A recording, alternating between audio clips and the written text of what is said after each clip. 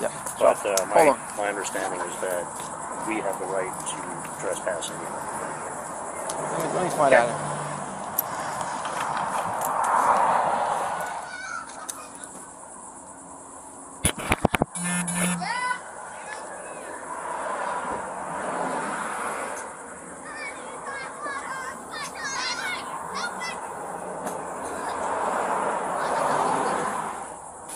Hey, sorry to bother you.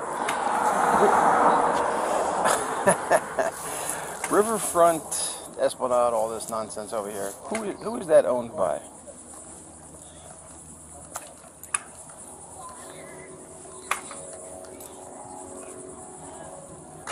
Instructions and address. So, okay, so if they want somebody trespass from here, they can. Okay. Okay. Very good.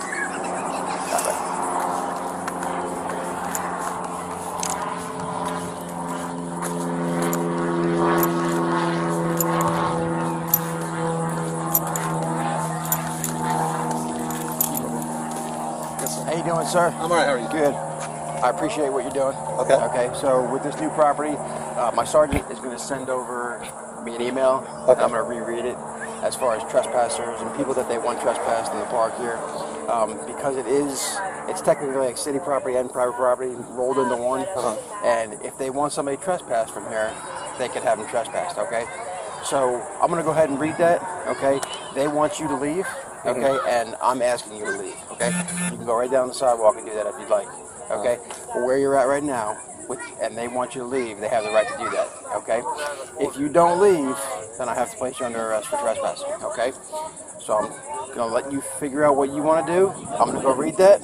If you're here when I come back, you go to jail. Okay. Is that body cam recording? It is. Yep. And your phone's still going too? Uh, I don't know, it may have overheated. I'm sorry. It may have overheated. But, uh, Overheated. Okay. All right. but, uh, so we straight on with it. it- this is this is city property. Yeah, I have to read it. I don't think it is because it's, it's a portion of it is with Brown and Brown. So, like I said, if you want to go down there on the sidewalk, you're more than welcome to. Okay, but that's where we're at.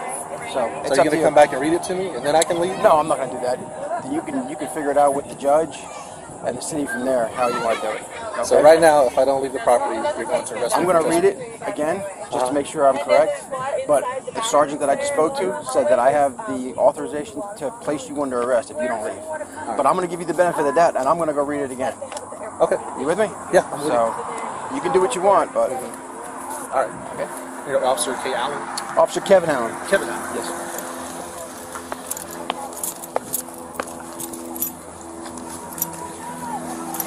What's happening? I gotta read this email from uh, Kevin about this place. Huh? I gotta read the email here.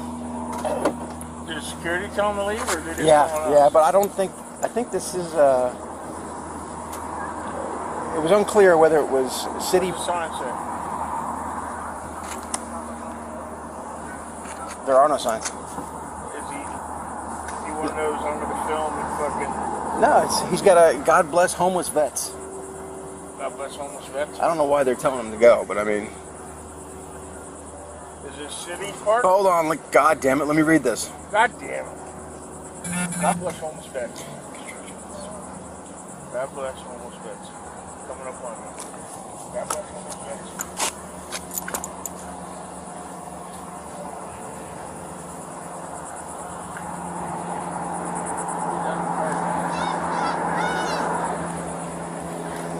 Now look at me. All right, yeah.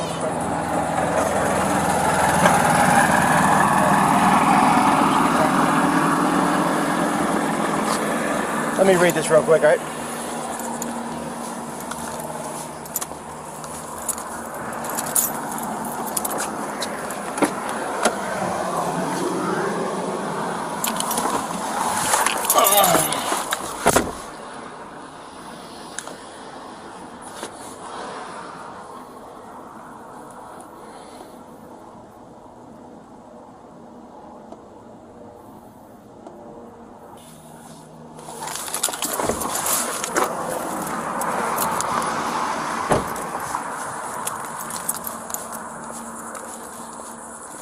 All right. Yes, sir. So it's all private property, which is why the gates are like this. Okay, so there's two areas, okay, that are city property, and it's at the very end of MMB right there, where the statue is. Okay, and the other one is the northeast corner of ISB and Beach. Okay, if you want to go there and and you know do what you're doing, you're good to go. Okay. So who, who told you it was private property? I'm sorry, Who, who told you it was private property? Sergeant Connolly. Sorry, fine. Okay, so from the grass line in, you pretty much have to stay Oh, clear. even of. the grass line? yes, sir. Oh, okay. Okay. All right. So, um, yeah, we're just going to educate you and you're free to go. Okay? Alright. You're not even being trespassed. So, but if I go back on there and do this, then If you go back on there, you're going to jail. okay. Okay? All right. Me get down here.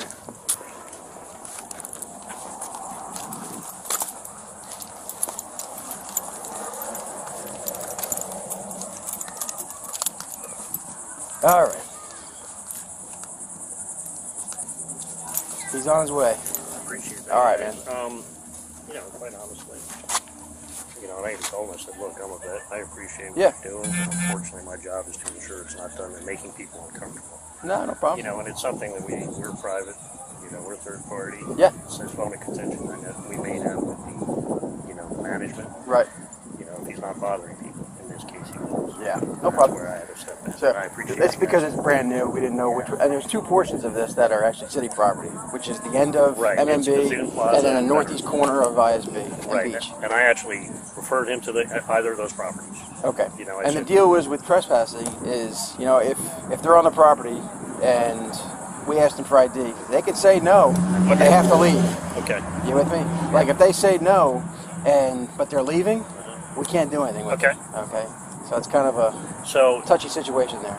So we can't trespass them at that point. We can tell them you can't come back, but if they came back a month from now, it wouldn't count. You know, you see what I'm and I prefer not to trespass. Again, if he's Right. not bothering people, Yeah. I don't care. Okay. But, uh, but the management does. I hear you. No problem. Thanks, guys. Take it easy. Yep. Kevin Allen. Kevin Allen, Yep. Scott Forrest. Nice to meet What's you. the badge number? We don't have a badge number, but it's uh, Kevin uh three alpha five five is my. Oh, you're five sign. five. Okay. Yep. Come on over here. They have you those guys go on uh, Connect Four. Or actually, I think it's Connect Five. What do you think they would do if they saw you're not playing that? Steve was out there playing that. so I'm watching The Perfect Storm last night. Okay, that's what I used to do. You know. I picture, I picture you on there going, when they're, when they're, when they're underwater in uh, Marky Mark. See, in that actual, um, and now, now he's got 12 words with the, uh, the director, Steven Spielberg. Yeah. You know what I'm saying? Yeah. So I'm gonna go back. Mhm. I got back on. it. So, in the perfect storm, when they actually go under, that was a true story, It was a true story. I think. based on a true story. based. Yeah. And when they were underneath there, Marky Mark says, "You know, we you know, we had a heck of a run. You're doing the right the right decision, Captain." He supposedly gets out, and he doesn't, you don't know if he lives or not. Yeah. But the captain, which is uh, uh, George Clooney, he goes out and then he stops. Right. I believe that's because the captain always goes down with the ship. Yeah. I think that's why he stayed in there. Could be. But I don't think any. uh, That was a based on a true story. It was like 1991, and like there was 15 hands on deck, Yeah. and uh, that's why I came over here. I knew it was going to be Oh yeah. um, 15 hands on deck, and they all perished. Yeah. I mean, it was huge. Some of those storms, they said, were getting 80 to 90 foot waves, swells, waves.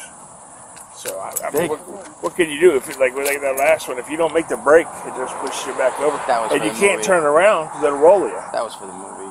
I mean, Yeah, but it doesn't. Really, I mean, it doesn't look like that. They just. I think they were just so overloaded they got swamped. Yeah, I think that's what happened. because they were So- being a little greedy with the fish. hmm Because they were trying to make it to some place because no one was really catching fish. Then all of a sudden they started catching them. And Well, they the got Flemish- the load and they said, hey, we've been out here this Yeah. long, let's make more money. So the Flemish Cap is the, the furthest point on the Grand Banks that you can go. It's And- way out off yeah. of Nova Scotia. Yes. Yep. And almost Cannon. Canada. Yeah. Yeah, basically. It's basically uh, you're closer to Newfoundland. That's the that's the closest uh, Yeah. point of land. Yeah. So, but uh, yeah, man, I fished that for years. I don't know. That's just scary being a couple hundred miles offshore.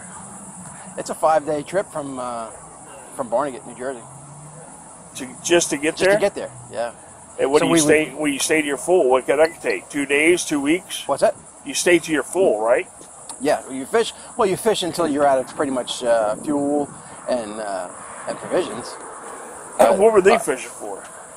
They had those nets, so they must have been No. fishing for.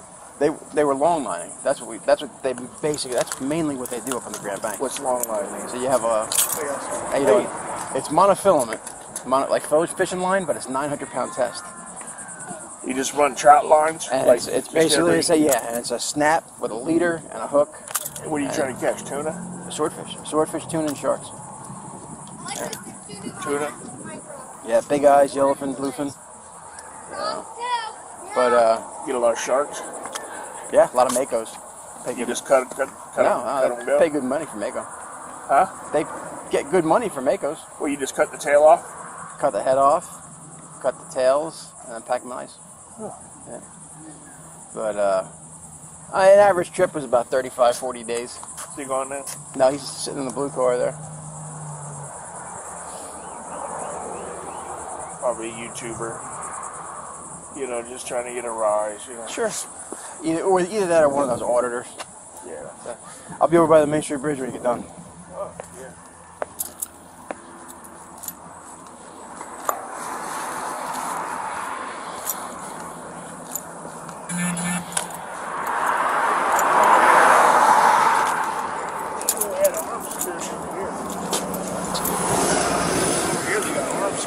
Probably the same as that guy.